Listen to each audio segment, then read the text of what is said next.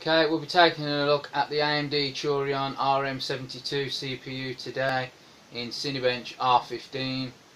Uh, it's a laptop CPU, an older laptop CPU. Before again, before that CPU goes, we'll give it a test in uh, Cinebench R15.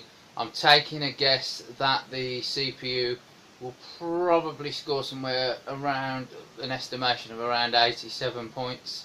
Um, maybe even less, I don't know. Uh, I'm not expecting it to be high. Uh, the CPU itself is good enough for uh, well, basic laptop uses, web surfing, email, and all that uh, jazz.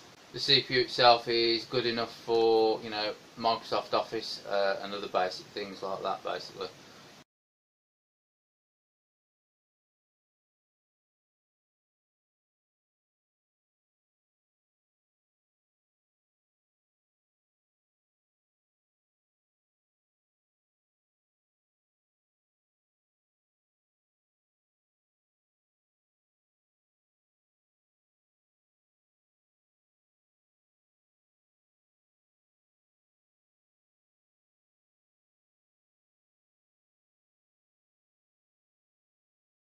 Okay, so we ran that Cinebench test and we can see that the processor RM72 scored a lowly 26 CB. Uh, that's way under what we um, estimated in the 80s. Now, partly this may be due to the fact that the laptop itself, when the CPU was stressed, did start to throttle some part through the test. Uh, in fact, it's probably more likely that it did, as I'm used to using this laptop in uh, CPU stressful situations, and I've noticed a throttling uh, happen before.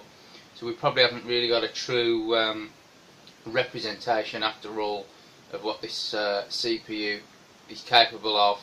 However, you know, that being said, it's obvious that this CPU is, uh, you know, years later now, it's uh, it's no match for what we've got out there. Uh, today. Um, it was interesting to run the test just to see what we got. Um, that's the thing about laptops in general. It's why they're generally not good as a desktop replacement because they overheat. Even if you've got a powerful system, a powerful uh, graphics board in there, powerful. Uh, see, you see the powerful GPU and the powerful CPU uh, in in a laptop never always uh, works out to anything much because as soon as it starts to get hot the things just always throttle uh, which cripples your performance. So otherwise just uh, build a desktop to be honest with you